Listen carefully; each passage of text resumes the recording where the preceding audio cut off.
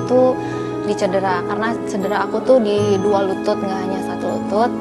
Dan udah lama banget gitu. Dan untuk bertanding yang terakhir aja itu udah yang kayak kita tuh gambling gitu. Bisa nggak ya nih? Semoga bisa. Dia juga ada bilang gitu, bener nggak kamu nih jangan masuk Islam tuh karena mau menikah, karena mau sama saya, karena nggak akan hubungan seperti itu nggak akan lama. Keluarga sih masih belum menerima wajar ya karena eh, bukan hal yang gampang gitu. Dan eh, bukan hal yang mudah diterima. Dengan kondisi yang sekarang ini kan pasti banyak pertanyaan dan orang-orang banyak yang eh, wondering gitu ya ini kenapa? Kenapa begini? Kenapa begitu? Jadi kita berharap tuh kalau ada yang ingin ditanyakan mungkin bisa bertanya langsung ke kita